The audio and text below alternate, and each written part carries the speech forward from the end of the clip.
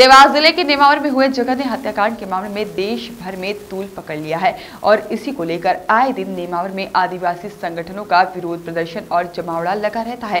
साथ ही विभिन्न राजनीतिक दलों के राजनेता भी नेमावर पहुँच रहे हैं। इसी बीच मध्य प्रदेश के पूर्व मुख्यमंत्री, राज्यसभा सांसद दिग्विजय सिंह भी नेमावर पहुँचे। मृतकों के चित्र पर पुष्प अर्पित कर श्रद्धांजलि दी। पीड़ित परिवार से एकांत में एक घंटे तक विभिन्न पहलुओं पर विस्तार से चर्चा की। उपरांत नेमावर रेस्ट हाउस पर कार्यकर्ताओं से मिले प्रेस कॉन्फ्रेंस कर पत्रकारों को जानकारी देते हुए पूर्व मुख्यमंत्री दिग्विजय सिंह ने कहा कि यह हत्याकांड एक जघन्य अपराध है। बहुत ही निर्दयता से मासूमों की हत्या की गई है। मैं इसकी घोर निंदा करता हूँ। इस हत्याकांड से तीन जिलों का संबंध है। स्थानीय पुलिस कैसे जाँच कर पाएगी? यह विचारणीय पहलू है। मैं चाहता हूँ कि इस जघन्य हत्याकांड की जाँच सीबीआई द्वारा होनी चाहिए और फास्ट को फास्ट ट्रैक कोर्ट में मामला चलाया जाकर निर्भया हत्याकांड की तरह आरोपियों को फांसी की सजा दी जानी चाहिए और पीड़ित परिवार को निर्भया की तरह न्याय मिलना चाहिए। इस मामले में पीड़ित परिवार को जब तक न्याय नहीं मिलेगा, कांग्रेस उनके साथ खड़ी रहेगी। इस अवसर पर पूर्व विधायक कैलाश कुंडल, पूर्व विधायक हरदा आर के दोंगने और मनोज होलानी, कन्नौद जनपद अध्यक्ष ओम पटेल, पीसीसी सदस्य गौतम बंटू गुर्जर, सुनील यादव, रफीक शेख रत्ना, पाठक नवाब भाई सहित अनेक कांग्रेस के वरिष्ठ नेता एवं कार्यकर्ता मौजूद रहे। यादव जी ने इस बात को उठाया था, जिन्हें दोष दपट भी दी गई। उसके बाद यहाँ पे सभी लोगों ने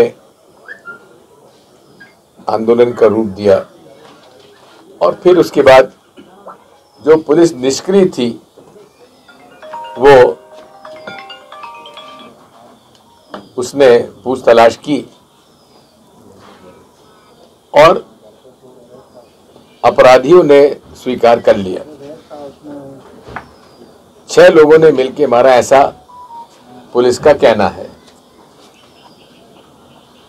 अब ये भी बड़ी अजीब सी बात है कि पवन जो लड़का है वही अपनी स्कूटी पे हर बार अपनी बहन को ले जाता है अपनी मम्मी की दोस्त को ले जाता है ममता को फिर दो, दोनों बहनों को ले जाता है एक के बाद एक एक के बाद एक एक के बाद एक।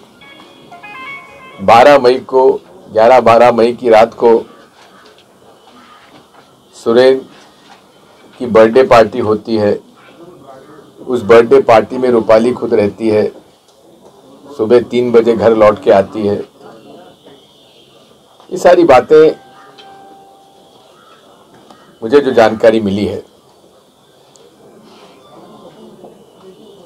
मैं तो इतना ही कहना चाहता हूँ। इसमें ये भी जानकारी मुझे मिली है कि रूपाली हरदा में काम करती थी।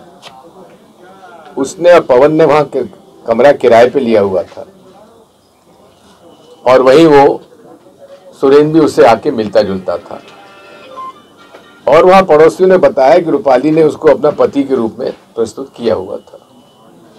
ये सारी बातें मुझे जानकारी जो मिली है वो आपके सामने है।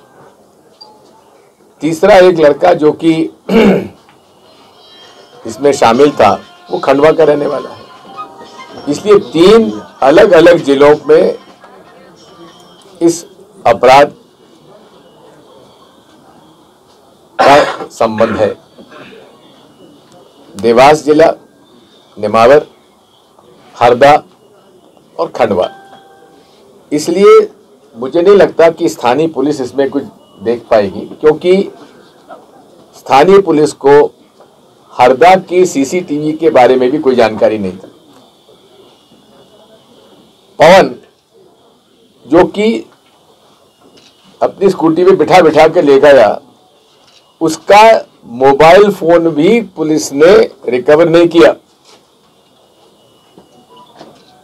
ये पूरा का पूरा जो घटनाक्रम बताया जाता है इसमें कैसे कन्विक्शन हो पाएगा, मुझे इसमें शंका है। कहीं कमज़ोर केस तो नहीं बनाया जा रहा है। इसलिए हम चाहते हैं, जैसी मांग की गई कि सीबीआई का इन्वेस्टिगेशन हो, या क्योंकि तीन अलग अलग जिलों में घटना हुई है, इसलिए special investigative team DG police प्रशासन की लगी। और निष्पक्षता से इसमें काम हो। फास्ट ट्रैक में काम कोर्ट में किया जाए, जिस तरह से निर्भया कांड में लोगों को फांसी की सजा दी गई, उस प्रकार से फांसी की सजा इन निर्मम हत्यारों के खिलाफ होनी चाहिए।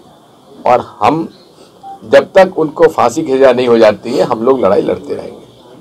वॉइस ऑफ़ राइट्स के लिए खातेगांव से प्रदीप साहू की रिपोर्ट।